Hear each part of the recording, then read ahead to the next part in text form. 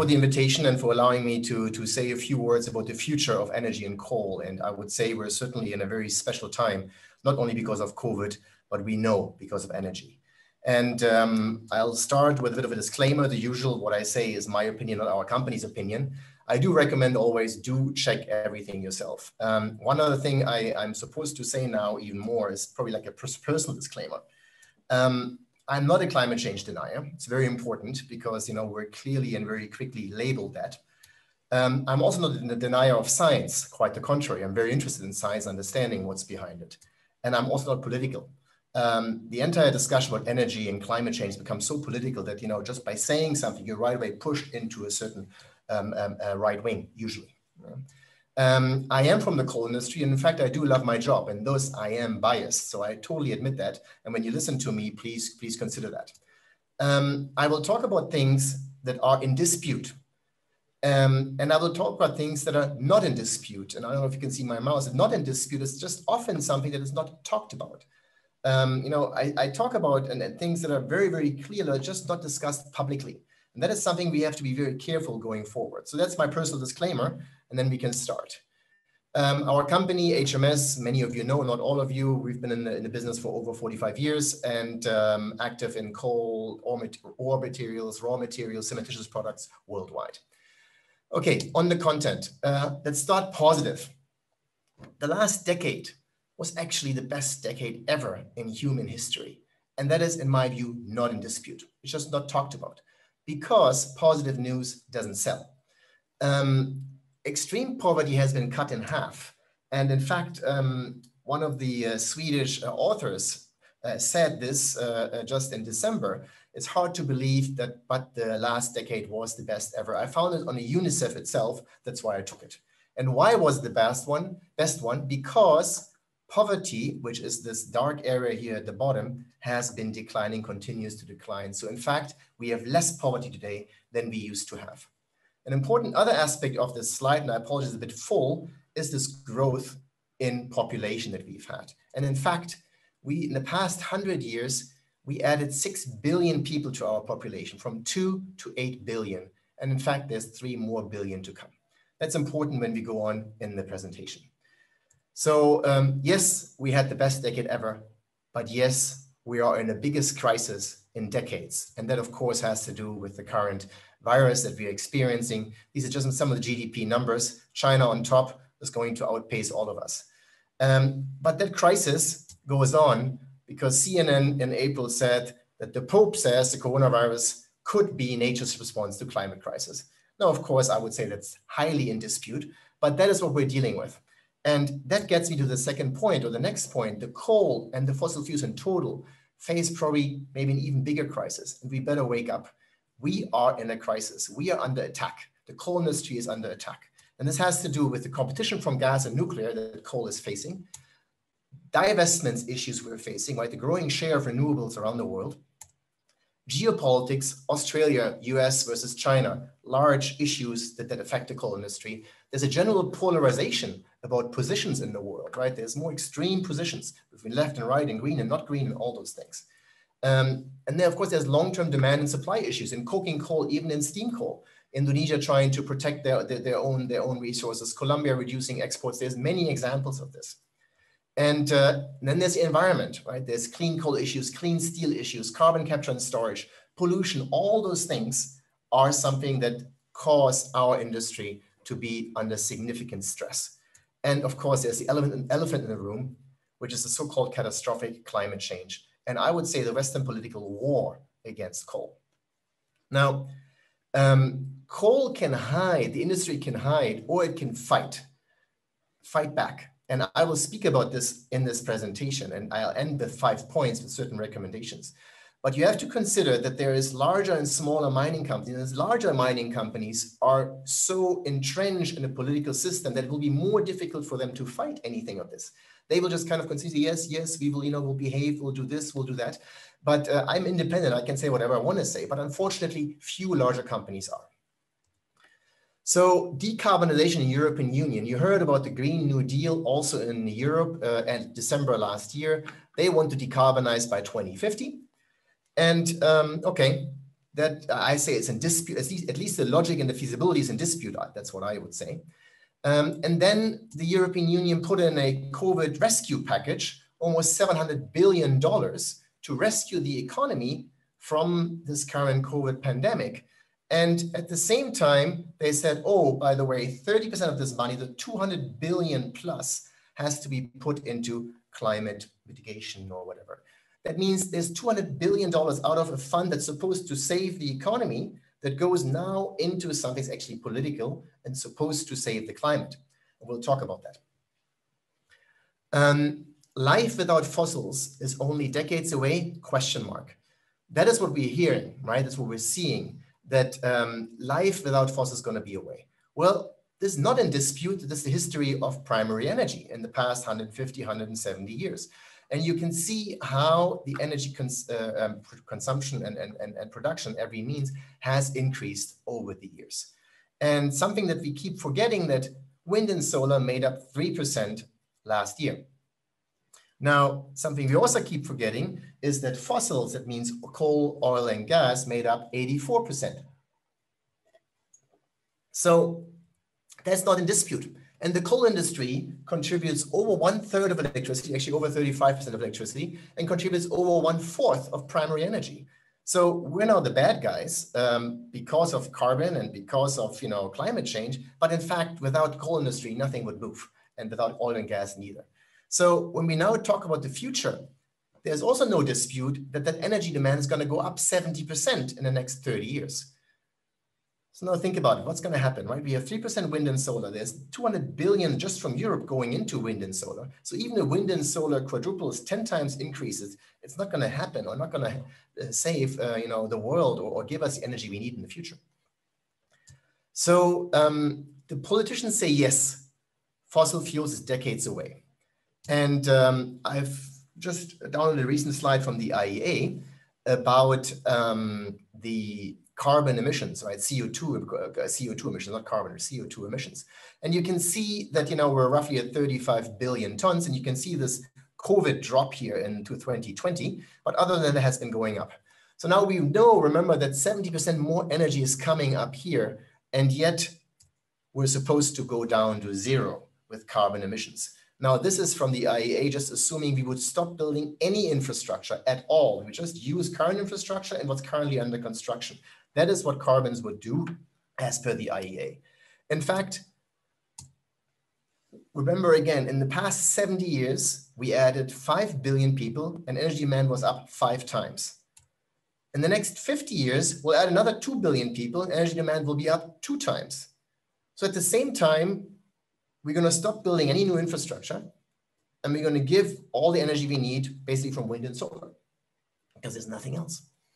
Um, now, when you put the emission pathways in, and uh, sorry the slide becomes a bit full, but if you were to manage the 1.5 degree target, so-called target, with 66% probability, you would have to be carbon neutral by 2035.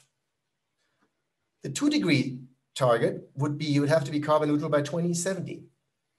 Now, let me be clear. I've never met any single person in energy or in, in, uh, in anything related to energy in an individual discussion that says this is possible. It's actually impossible. Even if everything is true about you know, climate change and all those things, it's impossible to do this. So climate mitigation with wind and solar versus climate adaptation, what is doable, right? Are we going to continue pumping billions, trillions of dollars into trying to mitigate the climate hoping that you know that will actually change the climate? Or are we going to start spending money on adapting to something where we see changes? So that's just the question I want you to keep in mind. Now, one step back, energy policy. What is energy policy? Energy policy has actually three objectives. It is about security of supply, it is about affordability of supply, and it is about environmental protection. There's no dispute about this. Now, environmental protection includes a few things. I put climate on top here, just for the sake of it. There's pollution, there's plants and animals, there's land and space, there's material input, there's energy input. There's a lot of issues that have to do with climate and environmental protection. Now, somehow it's all gone down the drain. Today, energy policy is about decarbonization and trying to save the climate.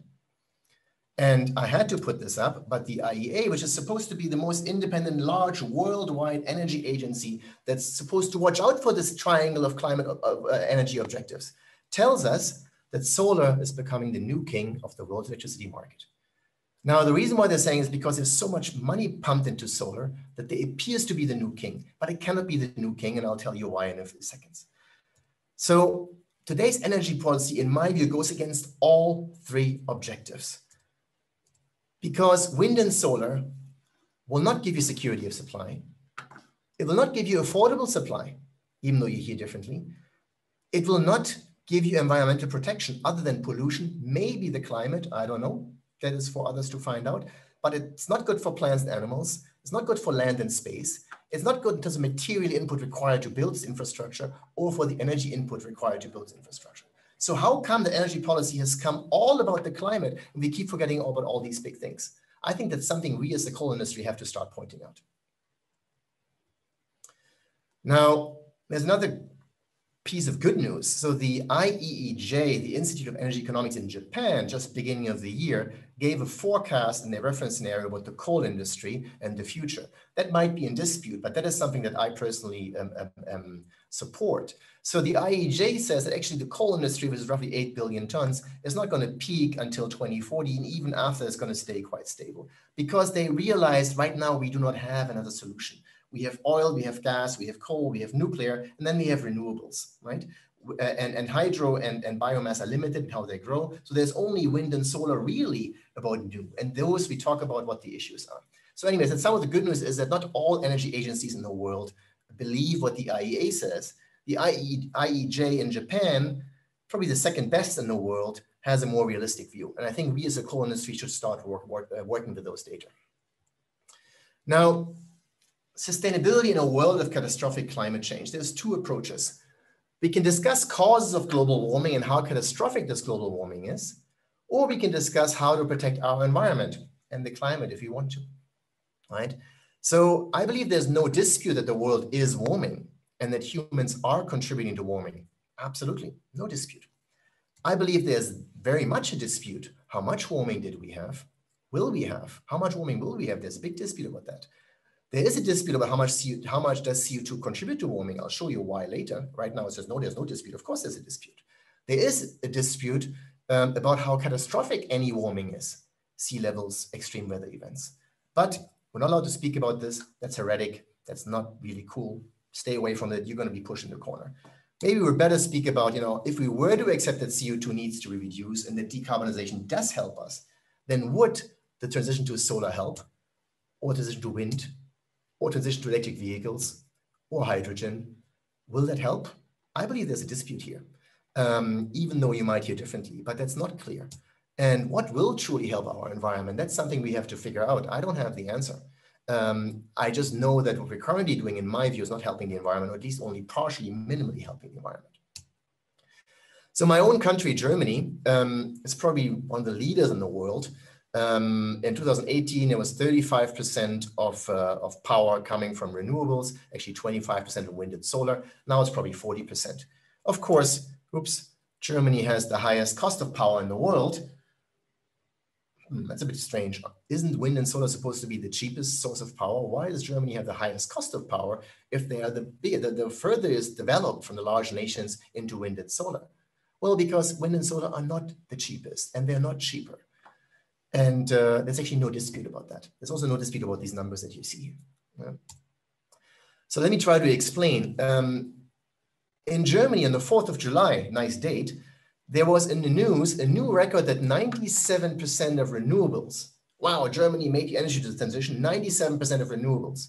Amazing. Well, I look into it a little bit more detailed. And this is online from Agora. And you can see that actually this 97% was for one hour at 3 p.m. on the 4th of July, where 97% of renewables in the system. Great. What they didn't tell you is that at that, at that time, you had 15 gigawatt or 22% of waste power. That power had to be basically dumped on the European market at negative prices to get rid of it. What they also didn't tell you is just a few days later, on the 18th of July at 9 p.m., there was 0% wind and solar in the system, zero. There was only hydro and biomass, which is very stable at the bottom. You can see this down here at the bottom, right? So there was zero wind and solar in the system. So all this conventional, this gray area had to manage. They also didn't tell you that there was a shortage of four gigawatt during that hour. What did they do? They had to import the power. Now what Germany is doing, they're trying to reduce this gray area here to wind, uh, coal and nuclear is going down. So that charge is going to go, to increase. And even if you double, triple, 10 times, 1,000 times your wind and solar, you're still going to have this, this problem here. So this is the Minister of, uh, of Environment in Germany in July said, Germany is now globally the first industrial nation to leave coal and nuclear behind. We will rely on wind and solar for the complete 100% of energy supply. There's three P's here, sorry about that. I don't know, how can a minister say something like this? I mean, it's so wrong in so many aspects, it's just incredible. Number one, she forgot about hydro and, and, and, and biomass. Number two, it's impossible. We just realized that, right? So also Germany just this month started discussing that wind may become a matter of national security in Germany. What does that mean? Well, that means that any German, any wind installation can basically be pushed through for national security reasons. Wow. I mean, hold on, we're trying to, to, to put something into the system that gives us less security of supply, increases costs, and we're going to make a national security to make sure we're going to put more into the system? I question that. That's why I say it's a dispute. Now, wind. You can see the wind map in Europe. You see a lot of wind here in the North Sea, especially in the UK. This is from Global Wind Atlas. And now when you go over to Asia, you see how little wind there is. So even if, if wind did make sense, there's just not enough wind in the growing nations. So what are these guys going to do? It's not going to work, right? Wind is not a solution. Now solar, you see the solar map, again, not in dispute. So, you know, here in Europe, you have a little bit less sun up here. And Spain is actually the, the, the, richest sun nation in Europe, still less than Arizona in the US, still less than the Sahara, of course, right? But what you notice is that Asia has less sun than Spain on average, right? Because of clouds and rain and all those things. So again, we're going to have, we have more sun in Spain than we have in Asia. Well, let me give you an example. And sorry about this. I made a calculation. I will publish something next, next month about this. If we were to go 100% solar in Spain to power Germany. I would have to make some assumptions. Don't worry about how much power we need, how much sun there is, AC transmission, capacity factors, all those things. And out comes how much capacity of solar I have to build, um, how much buffer storage I need. And, and the summary comes to this. Germany has 2% of CO2 emissions globally. If I were to cover Germany with solar from Spain, 100%, no wind, no nuclear, no nothing else, I would have to cover 10% of Spain in panels. Simple calculation, you can make it yourself, I'll, I'll publish this. You would have to uh, dig up and process billions of tons of materials to build batteries annually because the batteries last 20 years, it means you have to replace 1 20th every year. The same solar panels last maybe 15 years, so that means you have to build every year new panels. You have to build every year 3,000 square kilometers of panels. Now you would need 10% of global silicon production for those 3,000 square kilometers of panels. By the way, silicon is made of quartz, sand, and coal because you need to reduce the quartz sand, the, the, the silicon oxide, you need to reduce the oxide, oxygen with coal, same you reduce iron ore, at 2000 degrees. Nothing you, you hear about. I say here is no dispute because these are things you don't hear about, but it's simple calculation, simple math. And you need 35% of global silver production. So now I question, if it doesn't make sense to power 100% of Germany with solar from Spain, does it make any sense to try to cover a, a, por a portion of Germany's power demand by solar with any solar panel further north of Spain where there's even less sun? Uh, I leave that question open. Now, I'm not saying that all solar and all wind is bad. I'm just saying that solar and wind will not be the solution to our future power systems. So let's talk about the cost of power. I used Vietnam as an example, and you can see there's cost of coal, there's cost of gas, and there's cost of solar and wind. And we see everywhere in the press that the cost of solar goes down, the cost of wind goes down, and soon it will be the cheapest source of power. Now, we talked about earlier in Germany, if that was the case, why does Germany have the highest cost of, uh, price of power? Well, this is not true, right? It's misleading. You cannot compare baseload intermittent, intermittent power. This is a misleading graph. And what you're missing is a large portion of cost what we call integration cost of variable renewable energy. That the system has to pay for that. What is that?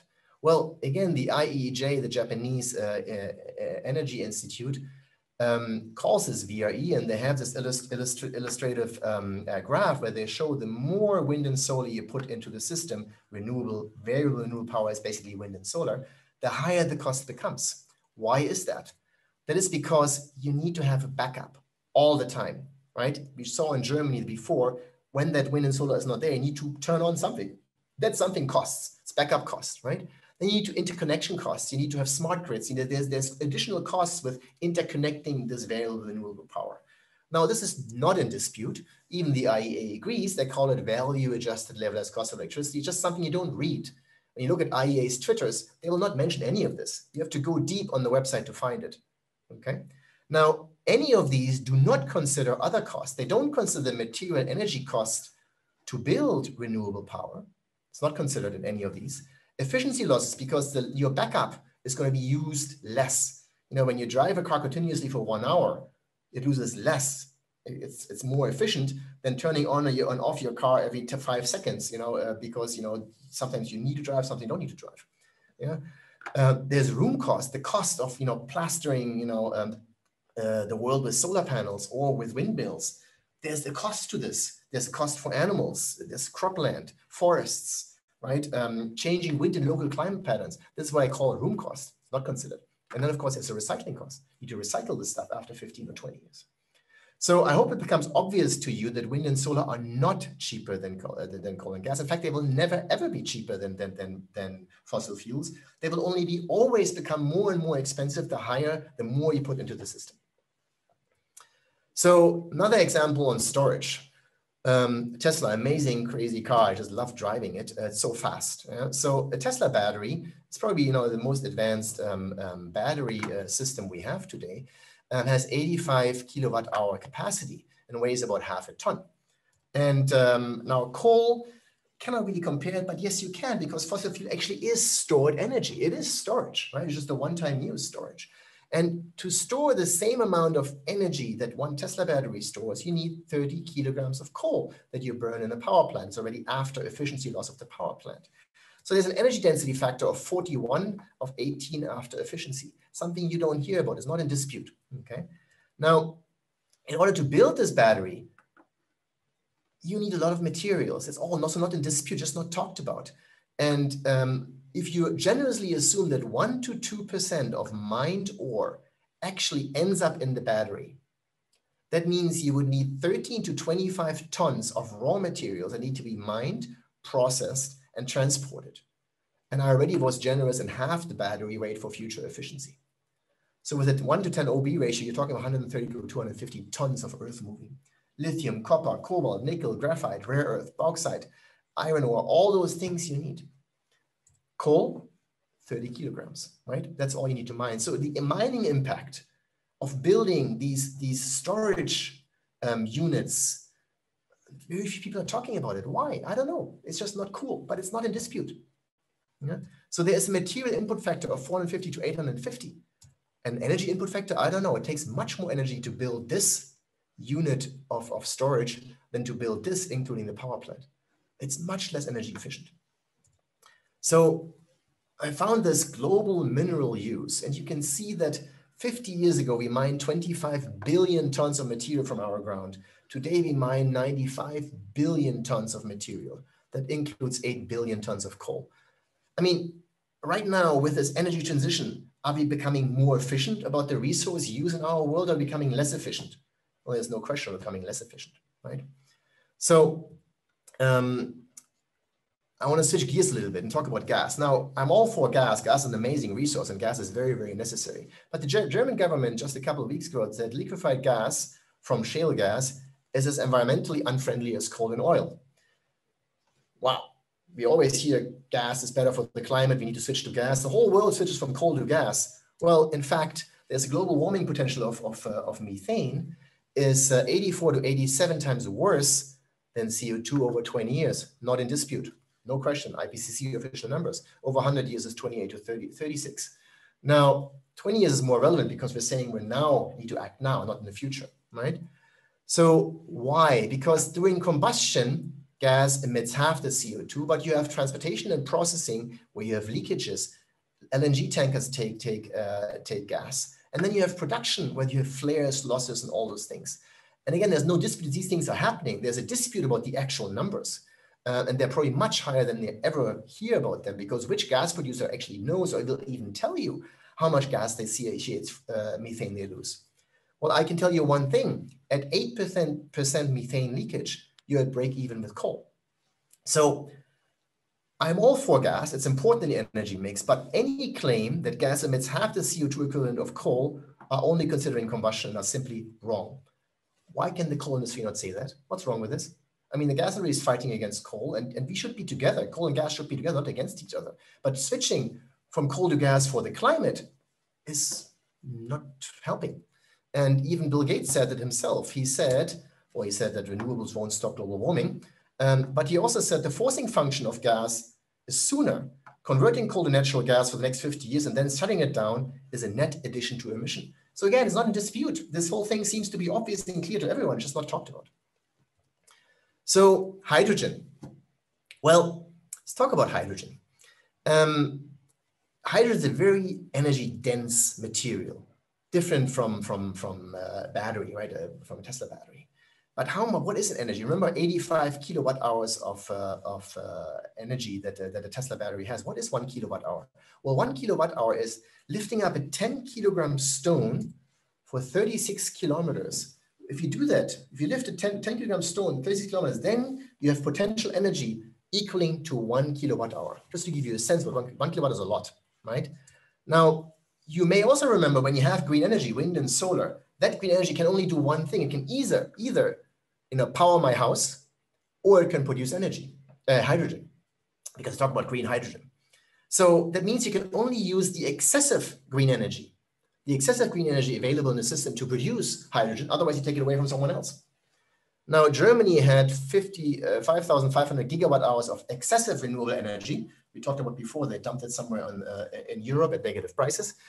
Um, and if you make the calculation, um, divide by 24 hours, 365 days, you come to 600 megawatt, and you come to about 6.0.8% of Germany's full load is available in excessive green energy last year. If we double, triple, 10 times our increase, of course, there will be more. It will be just very expensive. Now, if you use hydrogen as a backup for power, I'm not now talking about driving a car, okay? I'm not talking about using hydrogen as a backup to store green energy to make power out of it, because that's what we're told is going to happen. So you use this green energy, very intermittent, on and off. And with electrolysis, you make um, um, hydrogen. Now, I don't know any electrolysis today that can work with purely intermittent power from wind and solar. As far as I know, they need a more stable power, but maybe they'll be solved. So there's a 50 to 70% um, efficiency utilizing that, you doing that. Next step, you do you methanize the, uh, the hydrogen by adding carbon dioxide. Great, you take carbon dioxide away, you methanize it, and you make um, methane. And again, you have 30 to 40% of efficiency. Now, next, you go into a natural in, a, in a gas boiler, right? And you you, you produce uh, power at 45 to 50 percent efficiency. When you add all this up, you come to 12 percent net efficiency. So now remember, before we had 0.8 percent of Germany's power, 0.8 percent times 12 percent. That means you can actually, with today's Germany excessive green energy, you can you can maybe generate power of 0.1 percent of your full load requirement. So you would have to increase excessive capacity by a thousand times to get to 100%. And the costs are going to be so ridiculous, I can't even tell you. So this anti-hydrogen discussion is a very interesting one. You have to be careful about just the physics and laws of, of energy. It's not going to be the solution. Hydrogen will have a way in certain areas and applications, but it's not going to change our energy system worldwide. Science is the belief in the ignorance of expert. Richard Feynman, Nobel Prize winner, said that uh, science is the belief in the ignorance of experts. Interesting one. And then um, Harari said, experts argue schools should be teaching critical thinking, communication, collaboration, and creativity. I am missing critical thinking in today's energy policy. It's not even allowed to think critically. There's not a dispute about these things that are said. These are all true statements. And what we're currently doing is just absolutely terrible for our world, for our environment. And, and the coal industry should be able to say these things loud. Uh, because we're under attack. And if we don't say anything, we're just going to go down quicker and quicker and quicker. Now, all life on Earth depends on one single formula. We learned this in biology, right? More CO2, more life. Oops. So carbon dioxide and water with sun, sun energy gives me sugars and oxygen, right? There's no dispute that the world has been greening over the past 30 years because it's been slightly warmer, because there's been more CO2 in the atmosphere. We cannot say this, but it's true, there's no dispute. It's greener today. And the world needs to produce 60 to 70% more food but in the next uh, in the next years. And every greenhouse that produces anything that's bio injects CO2 that things grow faster. CO2 is a key building block of life. It's not pollution. It does contribute to slight warming, but that's a different story. That positive news about CO2, we should be able to say as the coal industry. It's a fact, it's true. And of course, the CO2 also comes from coal. In fact, the CO2 that the coal power plant emits gives me always additional biomass. And it gives me two times more biomass than a gas-fired power plant because gas emits half the CO2 during burning. And, and, and, uh, and, uh, um, and nuclear gives me zero CO2, right? Why can we not give this positive message? Um, now I'm going to skip this about uh, about the uh, the ice. Actually, maybe not. So, Arctic versus versus Antarctic. Now, the Arctic is in the north. It's 4 million square kilometers. It's mostly on ice, uh, ice on water. That's where our lovely um, polar bears are. By the way, there's also more polar bears today than 30 years ago, uh, even though you hear differently. It's not in dispute. Now, the Antarctic in the south, that's where the penguins are, that's mostly ice on land. So um, you may also remember in your physics class that ice that swims on water when it melts cannot increase the level of liquids in your glass. So that means when the Arctic melts, other than Greenland, and Greenland is an important one, we will not have any increased sea level. It's no dispute, no physical uh, clarity. But when the snow mass increases in the Antarctic, that snow, that, that moisture has to come from somewhere. It actually reduces sea levels. And there might be a disputable peer-reviewed study that says that the Antarctic South has been net decreasing sea levels by minimal, you know, whatever, maybe basically zero, like a couple of percentage of millimeters. Um, now, the uh, oh, this should be on on on Greenland. Greenland loses 145 gigatons of ice per annum. That's 0.01 to 0.005 percent of the total of 1.2 to 2.8 million gigatons of ice. It's a lot of ice being lost but it's a small fraction of what is there. I'm not saying it's good that this thing is melting, but I'm just saying put things into perspective a little bit. And um, here I put you um, uh, one more interesting point um, for our discussion. Now, remember our earlier slides, you know, how the energy use of energy went up, primary energy went up to 500, 600 exajoule. Well, these are the 500, 600 exajoules. And this energy, where does this energy go? Well, it goes into operating our lives, operating energy. Assume 90% of energy used for operating our lives. I don't know how much it is exactly. And then assume that 10% actually ends, ends up in embodied energy. You know, aluminum has a very strong embodied energy. Aluminum takes so much energy to build. So when you have an aluminum product, that itself is energy. It's chemical energy, right? So let's assume 10% of that goes in there. Now, at the bottom, the operating energy, all of this ends up in heat, right? To, to, to uh, when, I, when I charge my phone, that phone, all the energy ends up in heat and I drive a car, it ends up in heat. All the loss of operating a plant ends up in heat, right? How much heat, how much heat goes out there? Well, 500 exajoule, right? Or 550 exajoule, 90% of this. And that equals 1,400 gigatons of ice melting every year to compensate. It's a theoretical illustrative uh, discussion. I just want to sense the energy that put that we put out there into the world, the heat, equals the same energy it takes to melt 1,400 gigatons of ice. Now remember before on the slide before we said um, uh, Greenland loses 145 uh, uh, gigatons of, uh, of ice. This is not in dispute, guys. Okay. Now this area covers France, Spain, and Germany with one meter thick layer of ice every year would have to melt, or 10 centimeter layer of ice entire Australia and Brazil. So this is every year. Now, one point of caution, the sun is much stronger than the heat we put out there, right? The, the, the, the minuscule changes in sun energy and global on our, on our planet is much, much larger than what we are emitting in heat. But I just want to put into perspective what we are putting out here does have an impact on our planet and also on certain temperatures. It's warmer in cities and outside cities. That's because of humans. So I talked about this, right? Um, sea levels, we can skip that. One more important point, I know it's technical, but also you should know, and the industry has to know, and there's no dispute about this, that the warming potential of carbon dioxide logarithmically declines the more you put into the system. So every additional ton of carbon dioxide you put into the system has less warming effect. It's not talked about, but it's not in dispute. What seems to be in dispute is the climate models. Now, this is the official climate models, okay? There's 100 and something climate models in the world, and they give me warming per decade, or let's say per 100 years, four degrees, one degree to 44 degrees per, per, per 100 years. And this is the average. Well, one thing seems clear. There's no dispute that there's dispute amongst models how much warming CO2 will give us. Now, because there's dispute among models, oh, let's assume the worst case. And these models that are in dispute, right, they are now putting out, um, um, they are now putting out um, scenarios. And based on these scenarios, um, we're hearing everything we're hearing. Now, there's a, a, a, recent study just from this year that the global, the amount of global warming expected is heavily determined by what we call climate sensitivity, right? The exact value of this metric is a subject of considerable ongoing scientific debate. There is a debate. Science is not settled, okay?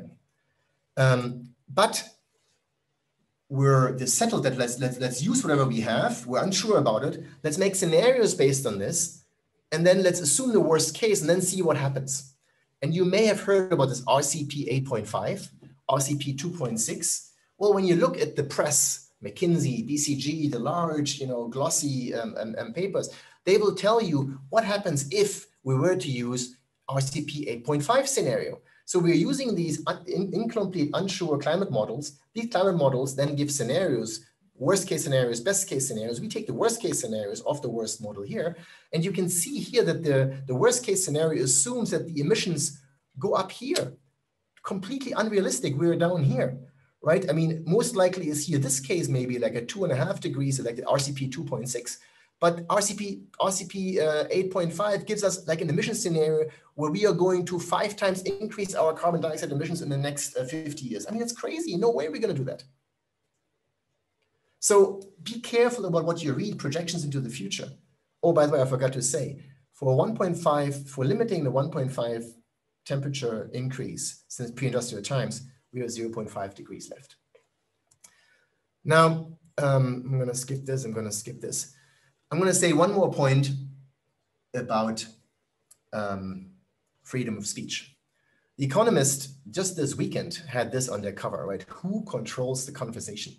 social media, and free speech. It's a very, very good point. The Economist is a very good, a good, uh, good newspaper. They have a very strong view on climate change, but that's one thing. On the other thing, it's still a very strong, uh, strong paper. And just to give you an example, Facebook has what they call fact checkers. And Professor Patrick Michaels, who's a colleague of mine in our organizations, says, claim that humans are only responsible for half of the past global warming. So he said that humans contributed half of the global warming of the past 150 years. That was labeled incorrect by a fact checker called climatefeedback.org, which is employed by, um, by Facebook. And uh, of course, climatefeedback.org is a very biased organization, right? It's, it's, uh, it's the same like I would be doing a fact check. Yeah? Um, it's incredible. So Professor Patrick Michaels' post was, was, was scrapped. You will not be able to see it. Wikipedia has taken off scientists on their website, scientists who have questions about current global global global warming discussion. I mean, this this uh, this discussion is the freedom of speech is gone. It's not there anymore. But we, as the coal industry, we have to start waking up and taking a stand. Okay, and this is where I come to the end of my presentation.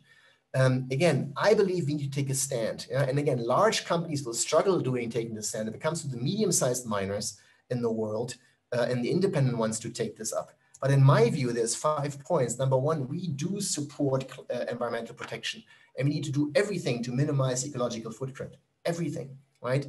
we argue for climate adaptation instead of climate mitigation with wind and solar because the adaptation makes sense, mitigation makes no sense, especially we don't know what's going to happen, and especially not with wind and solar. And I remind you here of the 90 billion tons of mining that are happening in the world and how that's going to increase if you were to go renewable, right? Second point, we support gas, but the switch from coal to gas does not support the climate, even by the models um, predicted um, um, um by, the, by the scientists. Now, um, I don't think that CH4 or CO2 is, is a main contributor in the future. It will be a main issue. I rather believe that carbon dioxide is a positive impact. But by the models, coal to gas switching is not going to change the, the climate. Okay, that's an important argument we have to bring out there. Next one, wind, solar, and batteries at industrial levels are detrimental to the environment, right? And the levelized cost of electricity, electricity is not the correct measure.